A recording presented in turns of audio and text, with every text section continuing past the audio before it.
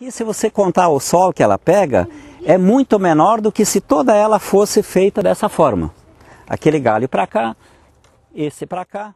Essas explicações fazem parte de um programa chamado Doce Fruto, uma parceria da Emater e de municípios. A ideia é mostrar métodos de manejo com as árvores frutíferas aos agricultores. Nessa etapa, está sendo realizado um dia de campo, que ajuda na troca de experiências. Bom, o programa Doce Fruta ele foi criado justamente para que as famílias elas pudessem ter em sua propriedade um pomar caseiro que satisfaça o consumo familiar, uh, um pouco do excedente possa ser comercializado nos programas governamentais. Então, o objetivo é que os pomares sejam melhorados em quantidade de plantas e espécies diferentes e dentro da mesma espécie algumas variações de época para ter consumo. Os agricultores recebem as orientações detalhadas. Um dos exemplos é em relação à exposição dos galhos ao sol. A diferença entre as fases de lua, elas não, não são significativas na produção. Mas quando tem mais sol na lua refletindo em cima da planta durante a noite, você está provocando da mesma forma a fotossíntese nas folhas.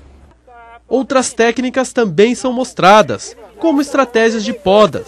O tecnólogo ambiental Telvio Ricken mostra que às vezes é necessário realizar cortes de galhos bem grandes. Eliminamos eles para dar força, luz e ventilação para os ramos mais baixos, que vão produzir da mesma forma que esse ramo ia produzir.